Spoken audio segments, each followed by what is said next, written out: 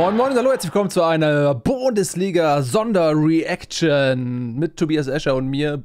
Julian Nagelsmann hat, überraschend, Fragezeichen, seinen Vertrag für die deutsche Nationalmannschaft verlängert bis nach der Weltmeisterschaft 2026, die in Amerika und Mexiko stattfinden wird. Tobi, wie überraschend kam die Meldung für dich? Für mich kam sie sehr überraschend. Du hast mich jetzt hier rausgerissen aus meinem Zelda-Spiel. Die armen Bürger von Hyrule werden noch länger darauf warten müssen, befreit zu werden. Das ist alles deine Schuld und auch die Schuld mhm. von Julian Nagelsmann, weil dass wir schon wieder hier zusammensitzen, ist ja durchaus überraschend. Alles hat irgendwie darauf hingedeutet, dass er zu den Bayern zurückkehrt. Das, man hat ja auch schon so das Gefühl gehabt, die haben es schon so ein bisschen vorbereitet, auch medial so.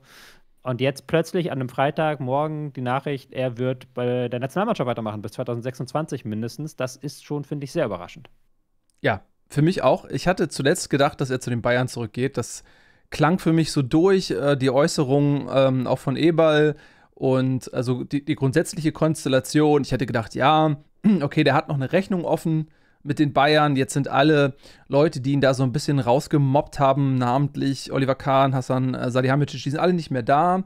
Es sind jetzt Leute, glaube ich, im Verein, die ähm, ihn mögen, die ihn schätzen und die ihn auch die ihm auch Rückendeckung geben würden. Und ich glaube, dass das eigentlich auch eine ganz komfortable Situation gewesen wäre, wenn du ähm, zurückkommst, weil das ist ja eher eine triumphale Rückkehr, weil äh, ne, alles hat im Nachhinein äh, ihm Recht gegeben. Die Mannschaft funktioniert auch unter einem nachweislich erfolgreichen Trainer wie Thomas Tuchel nicht. Das äh, Tisch Tuchel ist zerrissen zwischen Mannschaft und Trainer. So wirkt es zumindest. Die Champions League ähm, lässt so ein bisschen so ein Burgfrieden äh, entstehen. So ist der Eindruck von außen, dass man sich für diesen Wettbewerb gemeinsam nochmal motiviert und zusammenreißt.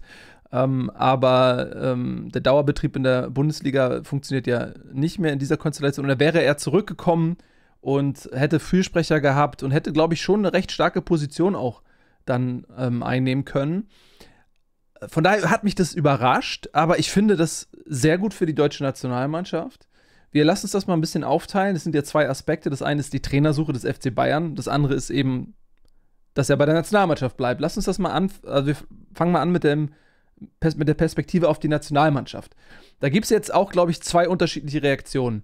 Die einen sagen, hammergeil, wir haben einen richtig guten Trainer, der eine Aufbruchstimmung erzeugt hat, der mh, mm, ja ein guter Taktiker ist und der jung ist, der eine gute Ansprache findet für die Mannschaft der einen Umbruch geschafft hat. Ähm, sehr gut, dass wir uns den sichern könnten, konnten. Die anderen sagen, ähm, kann doch nicht sein, dass man vor einem Turnier bereits mit dem Trainer verlängert. Man weiß doch gar nicht, wie man da abschneidet. Wo stehst du in dieser Frage?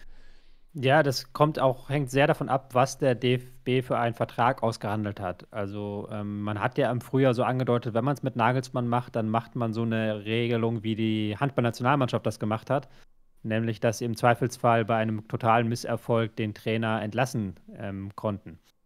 Ähm, das haben sie ja mit Gislason so gemacht, die Handballer, und ich denke auch, dass der DFB das gemacht wird, dass man da irgendwie ein Schlupfloch hat, sollte die Nationalmannschaft in der Vorrunde ausscheiden, dass man dann äh, getrennte Wege gehen kann, ohne dass das extrem viel Geld kostet.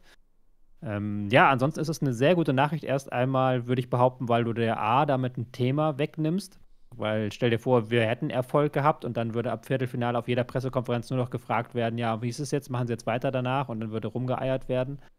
Oder noch schlimmer, er hat dann einen neuen Job und ist dann schon im, mit dem halben Kopf woanders, weil er ja eigentlich da dann anfangen müsste, Anfang Juli. Also das ist, glaube ich, schon die bessere Lösung, wenn du einen Nationaltrainer hast, der auch ähm, bleibt einfach, wo du das Thema gar nicht aufmachen musst während des Turniers. Natürlich, vorausgesetzt, es gibt diese Klausel, dass er im Falle eines Vorrundenauses aus ähm, kann. ansonsten wird der, könnte das ein sehr teures Missverständnis werden.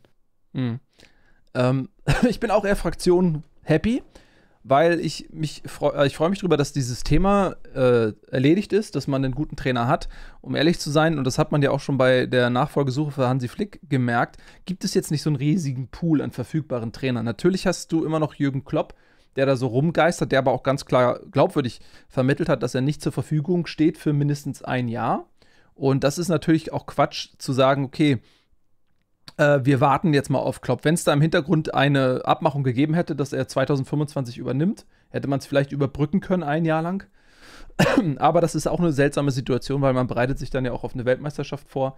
Ähm, und das wäre irgendwie auch eine komische Konstellation, aber offensichtlich hat das ja auch in der Form gar nicht statt, äh, hat das nicht stattgefunden, diese Gespräche. Äh, von daher, ich freue mich sehr, dass äh, aus Sicht der Nationalmannschaft, dass Julian Nagelsmann sich committet. Ich finde, das ist wichtig für das Turnier, dass auch die Spieler wissen, er bleibt länger und ähm, er kann was aufbauen. Und ich denke auch, wenn sie in der Vorrunde ausscheiden sollten, wenn das Turnier nicht so gut werden sollte, da muss man ja immer fragen, okay, liegt das jetzt am Trainer oder liegt das auch vielleicht ein Stück weit an der Qualität der Mannschaft oder an anderen Dingen? Liegt das vielleicht daran, dass die Gegner besser sind, weil es hat unter Löw nicht funktioniert und es hat unter Flick nicht funktioniert? Ähm, und dann ist halt die Frage, okay, wer soll denn, wer, unter wem wird es denn besser laufen? Wer ist denn die bessere. Alternative? Und Nagelsmann hat nachgewiesen, dass er ein guter Trainer ist. Ähm, er hat, finde ich, auch gezeigt, dass er lernfähig ist. Er hat, finde ich, so als Neuling auf Nationalmannschaftsebene in den ersten Monaten auch unter Beweis gestellt, dass er sich anpassen kann, dass er äh, auch bereit ist, ähm, Entscheidungen zu treffen, die so ein bisschen aus der Box rausgehen. Das sieht man anhand seiner Nominierungen. Er hat am Anfang ein bisschen probiert, hat auch eher auf etablierte Kräfte gesetzt, hat sich dann aber sehr schnell angepasst, ähm, hat sich flexibel gezeigt und hat jetzt zuletzt mit den beiden guten Spielen gegen Frankreich und die Niederlande ähm, sich auf etwas festgelegt, was funktionieren kann. Hat eine Begeisterung entfacht, ähm, in einer Situation, wo eigentlich alle nur noch abgeturnt waren von der Nationalmannschaft. Und das muss man ihm ja schon mal als Leistung anrechnen. Deswegen, ähm, ich freue mich da sehr drüber, unabhängig vom Ausgang des Turniers. Ich hoffe natürlich, dass äh, als Fan der Nationalmannschaft, dass es weit geht. Aber ich glaube, dass selbst wenn sie scheitern sollten, dass das deswegen trotzdem nicht eine Fehlentscheidung ist, sondern ähm, ja, dass, dass es ein guter Trainer ist, mit dem wir echt ähm, äh, guten Gewissens, guten Gefühls dann auch zur Weltmeisterschaft reisen können. Ja, sehe ich genauso wie du. Ja, ähm, ist vielleicht auch ganz, ganz cool so, weil ähm, äh, wenn er jetzt bei Bayern unterschrieben hätte, es wäre auch eine strange Situation, ähm, weil er ja auch Bayern-Spieler nicht nominiert zum Teil. Oder wie gehst du dann mit Bayern-Spielern um, wenn du dann künftig der Vereinstrainer sein wirst? Da ist ja zum Beispiel ein Goretzka vielleicht ein Thema, äh, welche Rolle spielt der. Dann hast du einen Nabri, wenn der fit ist, kommt der mit oder nicht. Äh, wobei man bei diesen beiden Spielern auch nicht weiß, ob sie eine Zukunft haben in München. Die stehen da ja auch äh, zur Diskussion. Ähm, ja, also sind wir uns beide einig, ist erstmal super für die Nationalmannschaft. Wollen wir das dabei belassen? Das wollen wir dabei belassen, denke ich, weil es ja auch, du hast ja nicht nur dieses Bayern-Ding gehabt, du hättest ja auch vielleicht ein Dortmund-Ding gehabt. Da war ja auch mal eine Zeit lang mhm. so gerüchtelt, dass sie Interesse an Nagelsmann haben und da wäre es ja noch seltsamer gewesen. Mhm. Ähm, ist ja sowieso schon eine schwierige genug Situation mit dem Dortmunder Halbfinaleinzug. Was machst du mit einzelnen Spielern? Wen lässt du dann zu Hause? Ähm, das ist ja schon kompliziert genug und ich glaube, wenn er jetzt irgendwo im Sommer übernimmt, das, wie du es gerade sagst, das hätte es nur noch unnötig äh, verkompliziert. Ja. Dann gibt es jetzt noch den zweiten Aspekt dieser Geschichte, wenn wir erstmal da das Fazit ziehen, wir sind happy mit dieser Entscheidung als Fans der Nationalmannschaft. Ähm, dann reden wir jetzt über den FC Bayern. Da sind wir beide jetzt weniger emotional involviert, können das ähm, natürlich als die Journalisten, die wir beide sind, ganz neutral ähm, besprechen. Ähm, ich hatte ja eben schon gesagt, ich hätte eigentlich damit gerechnet, dass Nagelsmann zurückgeht oder hätte es mir gut vorstellen können. Wie war das für dich? Du hast ja auch gesagt, äh, dass wenn du dein Geld setzen müsstest, würdest du eher sagen, Nagelsmann geht zu Bayern. Habe ich das richtig verstanden? Ja, das, das habe ich Montag, glaube ich, noch gesagt. Dann kam jetzt Dienstag, Mittwoch kamen dann die ersten Nachrichten ähm, von wegen, ja, ähm, Eberl möchte ihn schon zurückholen, aber der Aufsichtsrat hat ein Problem damit. Mhm. Und wenn sowas nach außen dringt, dann muss ja irgendjemand da vom Aufsichtsrat oder Eberl selber geredet haben. So. Und das hat dann mich schon stutzig gemacht. Hat schon gesagt, okay, da irgendwas läuft da nicht so, wie es laufen soll. Also irgendwie scheint man da nicht diese Option Nagelsmann zu wählen. Dann ganz ernsthaft, wenn man wirklich diese Option gewollt hätte, wäre sowas nicht nach außen gedrungen. Man hätte dann versucht, die, Rang, äh, die Reihen zu schließen und sehr stark auf, darauf gesagt, ja gut, er war halt da, als ähm, noch keiner von uns da war, als Eberl noch nicht da war, als noch Kahn da war, als Salihamidzic da war, er ist ein guter Trainer, bla, bla. Und da war, da habe ich jetzt zuerst Mal gedacht am Mittwoch, mh, hm, okay, das Nagelsmann-Ding, das scheint, da ist irgendwas im Argen, auch weil der Berater ja dann relativ frühzeitig gesagt hat, er wird noch innerhalb der nächsten sieben Tage verkünden, was er machen wird. Und das klang für mich nicht nach Bayern. Mhm. Ja, für Bayern ist es jetzt so ein bisschen, ich will nicht sagen der Worst Case, weil der Best Case ist natürlich auch nicht, deinen gerade geschassten Trainer wieder zurückzuholen. Aber die Optionen werden rar. Also ich glaube, man hat wirklich auf diese Option Alonso gesetzt und gehofft und auch gedacht, dass man den äh, bekommen kann, als man Tuchel entlassen hat. Und alle anderen Lösungen sind jetzt so ein bisschen 1b. Also jetzt kann man keine 1a-Lösung mehr präsentieren. Man kann nur darauf hoffen, ein Jahr lang zu überbrücken und dann äh, anzugreifen wieder bei Alonso oder sogar bei Klopp. Aber ansonsten gibt es jetzt niemand auf dem Trainermarkt, der nach Bayern schreit. Ja, ähm, erstmal das Erste, was du gesagt hast, fand ich sehr interessant. Dass äh, der Aufsichtsrat, wenn das jetzt so ist, ne, das ist jetzt ein bisschen für mich, weil ich das, äh, weil du meine Quelle bist sozusagen. Ähm, deswegen kann das natürlich auch sein, dass es nicht stimmt, obwohl du sehr zuverlässig bist als Quelle. Ähm, aber lass uns das jetzt mal. Ähm, Nur kurz angemerkt, ja? ich bin hier nicht die Quelle, sondern das stand im Kicker. Nee, meine das Quelle. Christopher Michel meine, berichtet. Meine das, Quelle. Ja, deine Quelle. Aber das, das stand in verschiedenen Publikationen auf einmal, wo man halt schon, wenn es auf, wenn verschiedene Publikationen auf einmal das schreiben und dann auch immer sagen, wir rufen uns auch Quellen, dann muss irgendjemand da fünf oder sechs Leute auf einmal angerufen haben und dann mhm. muss das auch so mit Absicht gestreut worden sein. Ja, was erstmal natürlich schon wieder ähm, so dieses neu zusammengesetzte Konstrukt beim FC Bayern so ein bisschen beschädigt, wenn es dort jemanden gibt, der diese Information durchsteckt, zeigt dass es wieder intern irgendwelche Machtkämpfe gibt und Interessen, die dort äh, auf so eine Art und Weise vertreten werden. Das ist erstmal eine Beschädigung, finde ich. Ähm, und dann ist es schon interessant, dass mit äh, Ebal ein neuer starker Sportdirektor geholt wird, der offensichtlich einen Wunsch hat, dem der Aufsichtsrat ein Veto entgegenschleudert. Das finde ich schon ein bisschen strange, ähm, dass man ihn dann nicht machen lässt. Und es zeigt aber auch, dass Nagelsmann ähm, nicht unumstritten ist im Verein und dass es dann auch einige Leute gibt, die ähm, ihn dort nicht wieder installieren wollen. Und dann, wenn Nagelsmann wird das ja auch wissen, der steckt ja auch drin, der kriegt diese Infos ja eher als wir. Der muss ja nicht den Kicker lesen, um diese Strömung lesen zu können im Verein. Und dann ist es aber auch umso verständlicher, dass er den Bayern absagt, weil wenn du als Nagelsmann zu den Bayern zurückgehst, dann ja nur nach der ähm, Entlassung, dann ja nur, wenn du dir sicher bist, dass du zu 100% unumstritten und gewollt bist im Verein, um eben nicht wieder die Situation zu haben, dass du weißt, im Hintergrund gibt es Leute, die eigentlich nicht wollten, dass du da bist. Und äh, deswegen kann ich schon verstehen, dass er dann vielleicht auch sagt, nee, sorry, also entweder völlig unumstritten und ihr legt mir hier die, den roten Teppich aus oder ich mache das nicht nochmal. Mhm. Aber was für mich wirklich dann interessant ist, ist, dass Ebals Wunsch, und ich gehe davon aus, wenn, wenn Nagelsmann dann, dass es auch wirklich jeweils präferierte Lösung gewesen wäre, dass ihm dieser Wunsch sozusagen vom Aufsichtsrat verwehrt wird, das finde ich schon ein bisschen strange. Ja, beziehungsweise der Aufsichtsrat muss man aber auch fairerweise sagen, und das ist ja nicht nur der Aufsichtsrat gewesen offensichtlich, sondern auch Strömung im Club.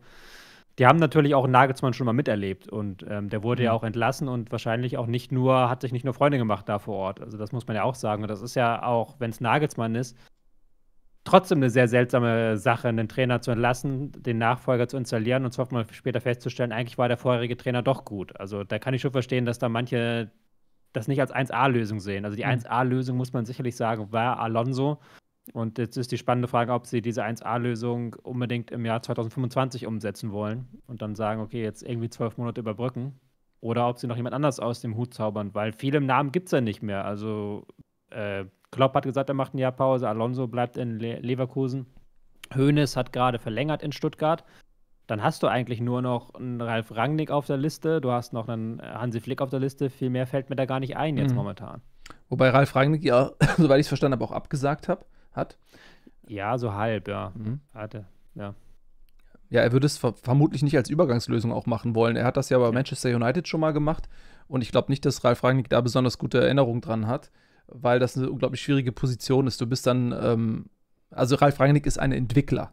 Das ist jemand, der langfristig denkt, der Macht haben will, der Dinge anstoßen und verändern möchte. Und äh, bei Manchester United hat er damals dann auch als Interimstrainer, das hat einfach nicht funktioniert. Und ich glaube, der braucht einen, einen, ein Umfeld, wo man ihn machen lässt. Und äh, ich glaube nicht, dass das bei Bayern in der Konstellation mit Alonso vielleicht im Rücken ja. irgendwie klappen kann. Mhm, außerdem geht er ja zum HSV. Ja, das ist ja das neueste Gerücht. Vor allem ja andererseits erst 65. Also er ist jetzt auch nicht mehr der Jüngste und wenn du ihn, das die Wahrscheinlichkeit, dass du ihn jetzt äh, eine Lösung für die zehn, nächsten zehn Jahre präsentierst, ist relativ gering, weil so jugendlich ist der Mann nicht mehr. Ja. Wenn er, wenn man nicht im Fußball arbeiten würde, würde er jetzt langsam das Renteneintrittsalter erreichen. Also das ja. wäre schon jetzt nicht die große Lösung für die nächsten Jahre, aber ähm, mhm. ja, ich glaube auch nicht Rangnick, ich kann, kann, mir das auch nicht vorstellen, dass solange Höhnes noch da ist, auch wenn die beiden sich ein bisschen ausgesöhnt haben und gerade Rummenigge ein großer Freund von Rangnick mittlerweile ist, kann ich mir trotzdem noch nicht so richtig geistig vorstellen. Aber wie gesagt, du hast ja keine Namen mehr. Es ist ja nicht so, dass ja. du jetzt irgendwie fünf, sechs Top-Trainer auf dem Markt hättest. Dem, dem ist ja gar nicht so. Du, du hast, hast, ja wirklich Zerbi keinen Top-Trainer mehr auf dem Markt. Die Zerbi, sie dann. Ja, sie haben aber schon ja intern auch gesagt, dass De Serbi, ähm, äh, Mourinho wollte sie gar nicht. De Serbi hatten sie auch schon so halb abgelehnt, wegen eben dem Problem mit der Sprache.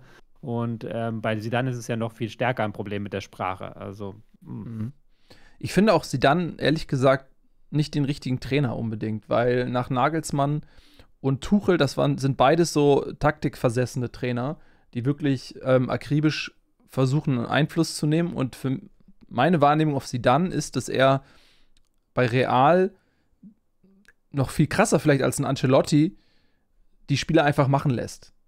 So, der vielleicht so gewisse Grundsätzlichkeiten mit einbringt, aber er ist jetzt nicht so ein Laptop-Trainer. Er ist kein Tuchel, er ist kein Nagelsmann, er ist kein Guardiola, sondern er lässt die Qualität, die da schon vorhanden ist, von alleine und greift vielleicht dann eben mit seiner Aura als ehemaliger Weltstar, greift er dann irgendwie in die Mannschaft ein, aber sagt ihr jetzt nicht akribisch, wie sie zu spielen hat. Und das ist auch das, was Ancelotti macht. Das ist übrigens auch etwas, was Bellingham neulich in einem Interview nochmal gesagt hat ähm, nach dem Spiel gegen Manchester City, dass es äh, vielleicht Vereine und Mannschaften gibt, die sehr viel klarer einen Plan des Trainers verfolgen und dass sie bei Real Madrid die Möglichkeit haben, ihre individuelle Qualität sehr viel freier zu entfalten auf dem Platz. Das bestätigt ja so ein bisschen das, was ähm, da passiert und das hat sie dann auch gemacht, sodass ich nicht glaube, dass sie dann ähm, da für Bayern ein richtiges, weil die, die Qualität nicht so groß ist, finde ich, in München. Also die Qualität ist nicht so groß wie bei Real und vor allen Dingen die Eingespieltheit nicht. Äh, das kann vielleicht mhm. funktionieren, wenn du eine Truppe hast, die im Kern intakt ist, die einen Modric nicht groß als äh, Lenker hat, die so viel Erfahrung mitbringt, dass du das nicht brauchst, diese, diese minutiöse Anleitung. Aber die Bayern stehen vor einem Umbruch. Die Mittelfeldzentrale muss neu aufgestellt werden. Und ich kann mir nicht vorstellen, dass du dann einen Trainer hast, der dann sagt, ja, okay, macht mal, sondern du musst irgendwas erstmal ein Fundament legen. Also lange Rede, kurzer Sinn. Ich glaube auch nicht, dass es sie dann wird. Ich glaube nicht, dass es Mourinho wird. Ähm, die Serbi kann ich mir vorstellen. Mh, hm, das einzige Problem ist halt die Sprache, aber wir leben natürlich auch in der Zeit, wenn du halt Englisch gut sprichst, dann werden die meisten Spieler damit klarkommen können. Mhm. Höhnes halt nicht vielleicht. Ja, der Serbi spricht aber auch nicht besonders großartiges Englisch, das haben sie ja auch schon gesagt. Aber der wäre natürlich noch der interessanteste Kandidat, auch ähm, weil du natürlich sagst, okay, an welchem Stil orientieren sich Stuttgart, Leverkusen? Das ist ganz klar die Serbi und dann holst du dir das mhm. Original und sagst du, dann äh, machst du damit. Mhm. Ähm, Emery ist noch ein Name, der genannt wurde, der mit Aston Villa diese Saison eine starke Saison spielt. Aber du merkst halt schon, es, ist, gibt da gerade ja, gerade im deutschen Markt, ja, gerade im deutschen Markt gibt es ja jetzt nicht diesen Trainer mehr. Ähm, Nagelsmann Nationalmannschaft, Tuchel hat man verbrannt.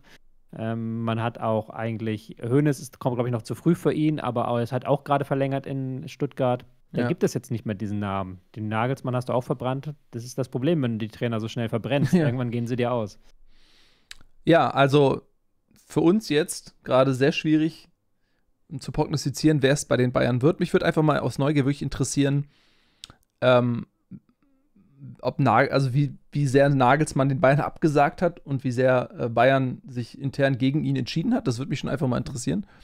Ähm, ich finde es auch schwierig zu sagen, wir warten auf Alonso.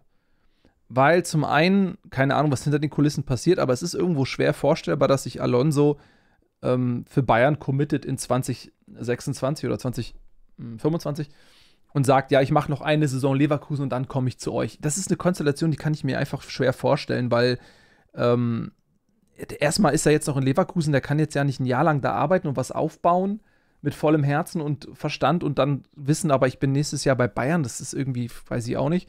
Und gleichzeitig können die Bayern ja auch nicht richtig was machen. Die müssen jetzt einen Umbruch einleiten und das kannst du jetzt ja auch nicht machen, wenn du da jetzt ein Jahr lang so eine Übergangssituation äh, äh, hast und vor allem was passiert, wenn die Erfolg haben mit einer Übergangslösung? Das ist ja auch wieder der Fluch der guten Tat. Äh, dann, ne, so wie Guardiola damals nach dem Triple von Heinkes als Trainer kam, das lag immer über ihm, dieses Triple. Alle haben erwartet, dass er das wiederholt. Ähm, das ist ja auch wieder Quatsch. Es gibt jetzt keine gute Lösung, aber ich würde schon halt auch als Bayern trotzdem gucken, Alonso ist gerade der heiße Scheiß. Wenn du den natürlich bekommen kannst, ist natürlich top, aber du kannst jetzt auch nicht ein Jahr verschenken. Hast du ja gerade schon gesagt. Du musst jetzt eigentlich auch einen Umbruch einleiten im Kader. Du musst ein bisschen was anders machen, wenn du nicht ähm, längerfristige Probleme haben willst. Deswegen ist es eine ganz, ganz schwierige Situation für Bayern, in die sie sich aber auch mit dieser frühzeitigen Tuchel-Entlassung selber rein manövriert haben, muss man ja ganz ehrlich sagen. Weil natürlich, wenn jetzt Tuchel in der Champions League weit kommt, hättest du auch mit ihm weitermachen können. Aber naja, im Nachhinein ist man immer schlauer. Ja, dann haben sie vielleicht zum zweiten Mal so eine Nagelsmann-Situation, dass sie hinterher denken, Mensch, war das die richtige Entscheidung, den Trainer gehen zu lassen? Man stelle sich vor, der Tuchel gewinnt die Champions League. Und äh, das ist, auch wenn sie nicht Favorit sind, ja durchaus erreichbar. Denn mit Manchester City ist der ähm, größte Favorit raus, wo man wahrscheinlich gesagt hätte, okay, gegen City wird es in zwei Spielen nicht funktionieren können. Aber alles, was jetzt noch im Wettbewerb ist, auch wenn Bayern gegen Real nicht Favorit ist, aber es ist machbar. Es ist machbar für die Bayern. Stellt man sich vor, der Tuchel geht als Champions League-Sieger. Dann geht er erhobenen Hauptes auf jeden Fall. Und Bayern ist dann eher der. Also dann ist Bayern wieder in der Situation, als Verlierer aus der Nummer rauszugehen. Weil lange Zeit sah es so aus, okay, Tuchel funktioniert nicht und mit seinen unsouveränen Interviews und seinem durchscheinenden Ego war man eher auf der Seite, dass man sag, gesagt hat, okay, ich kann die Bayern verstehen. Aber wenn du dann jemanden rausschmeißt, der auch noch Champions League-Sieger wird, dann ist die Situation vielleicht wieder leicht eine andere. Gut, wir werden das verfolgen, ne? Mhm. Das werden wir. Und sobald wir wissen, was bei den äh, Bayern passiert, dann ähm, versuchen wir natürlich auch so schnell wie möglich darauf einzugehen, sei es äh, in einer kleinen Sondermeldung wie jetzt gerade, die sehr spontan zusammengezimmert ist. Nochmal auch der Hinweis an dieser Stelle, ähm, wenn so spontan Meldungen reinkommen, versuchen wir es immer möglich zu machen, auch darauf zu reagieren. Das ist dann nicht möglich, das bei uns im Studio zu machen, aus rein logistischen Gründen. Ähm, äh, kriegen wir das derzeit nicht umgesetzt. Deswegen haben wir halt diese kleine Online-Variante für uns, dass wir zumindest, ähm, wenn nicht ganz so schmuck, doch aber inhaltlich darauf reagieren können. Das nochmal als Hinweis, falls ihr euch fragt, warum wir nicht im Studio sitzen. Ja, wir sehen uns dann auf jeden Fall am Montag zu einer frischen Sendung, es sei denn, die Bayern präsentieren morgen überraschenderweise oder am Wochenende schon den Nachfolger, Nachfolger zu Tuchel. Dann werden wir auch versuchen, uns wieder mal zusammenzusetzen. Vielleicht passiert es ja aber auch, wenn wir Glück haben, am Montagvormittag, dann können wir das in der regulären Sendung besprechen. Genau. So machen wir das. Dann herzlichen Dank fürs Zusehen und wir freuen uns, wenn ihr äh, uns in den Comments schreibt. Freut ihr euch darüber, dass Nagelsmann Bundestrainer bleibt? Wie findet ihr die Entscheidung und was bedeutet das für den FC Bayern? Ist das eine Beschädigung, eine Niederlage oder sagt ihr, ach, die wollten den Nagelsmann sowieso nicht haben? Würden uns sehr über Feedback freuen. Vielleicht können wir am Montag dann auch nochmal auf das eingehen, was ihr uns in den Kommentarbereich geschrieben habt. Das war's von uns. Vielen Dank fürs Zusehen. Tschüss und auf Wiedersehen.